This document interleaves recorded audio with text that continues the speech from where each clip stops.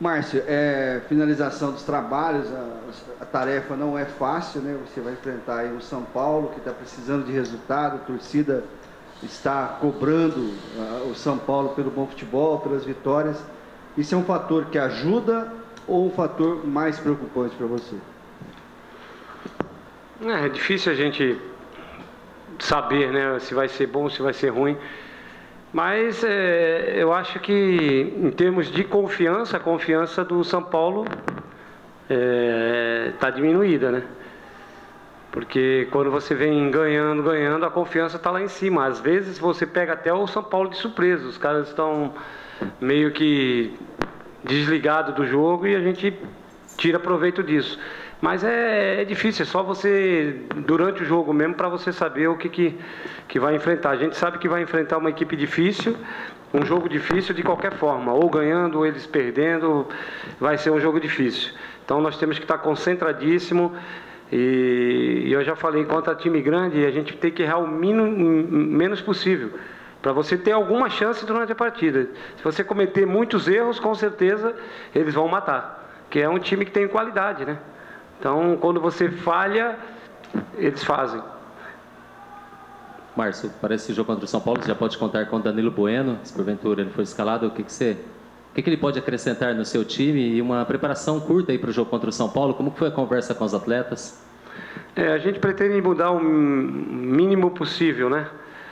Até para que essa equipe ganhe um conjunto. Eu acho que a equipe foi muito boa, muito bem lá em, em Diadema, poderíamos ter conseguido uma vitória. Então agora é, é você ir trocando algumas peças. É, acho que o Alan tem, tem mais chances de entrar, até porque acrescenta numa, numa bola aérea, né, numa bola, é, bola parada. Então ele corre com mais chances de entrar do que o Danilo. Ansiedade é uma coisa que pode atrapalhar seu time contra o São Paulo? O São Paulo vai receber uma pressão natural da sua torcida, da, da, do próprio time, né? eles mesmos cobrando, porque a fase não é boa e eles precisam vencer também. Então o São Paulo vai jogar, vai sair para jogar. A, a, ansiedade de esperar o momento certo de sair, a tranquilidade, não é? o equilíbrio emocional para saber administrar, porque se o Botafogo sair, é como você falou, do outro lado tem qualidade, eles vão fazer. É, é um fator que a gente tem trabalhado muito com os jogadores para que a gente possa ter é, equilíbrio e, e confiança para realizar, né? Se nós ficarmos ansiosos ou queremos decidir a partida é, em momentos que não, não requer esse tipo de, de, de atitude, aí a gente corre um sério risco.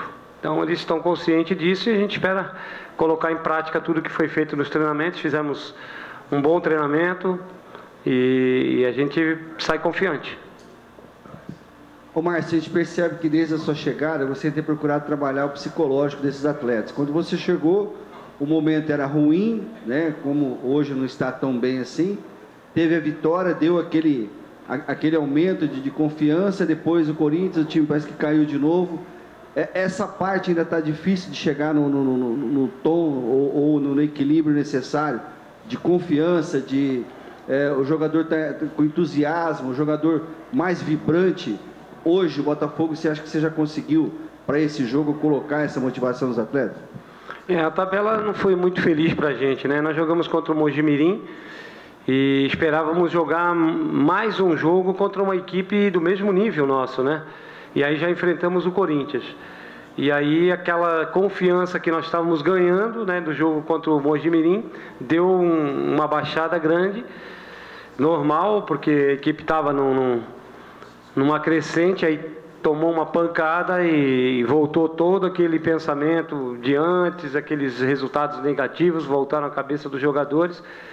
Tivemos mais uma saída contra um time do mesmo nível. Nosso, conseguimos um empate que, no meu modo de ver, foi um bom resultado é, mas os outros, as outras equipes tiveram resultados melhores fora, né? E isso prejudicou um pouco. Mesmo nós tendo um resultado bom, que foi um empate contra o Água Santa, nós caímos duas posições.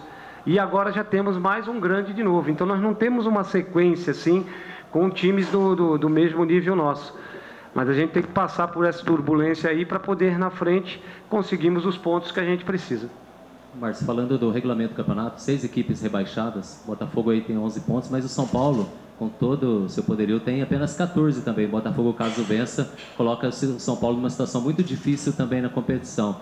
E a diferença do Botafogo para o terceiro colocado na geral, que é o São Bento, são apenas seis pontos. Queria que você falasse um pouquinho desse regulamento, dessa situação entre Botafogo e São Paulo, diferença apenas três pontos.